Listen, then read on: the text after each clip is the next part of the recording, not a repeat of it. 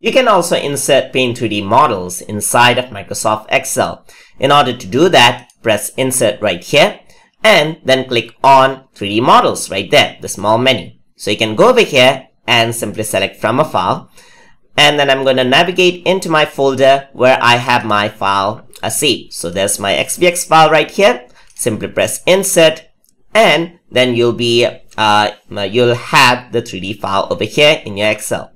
So just like you, uh, you can see in Microsoft um, PowerPoint or Word, you can actually rotate the model and then interact with it to create an interesting Excel sheet. So hope you guys learned something as always. And as always, please like, comment, share and subscribe.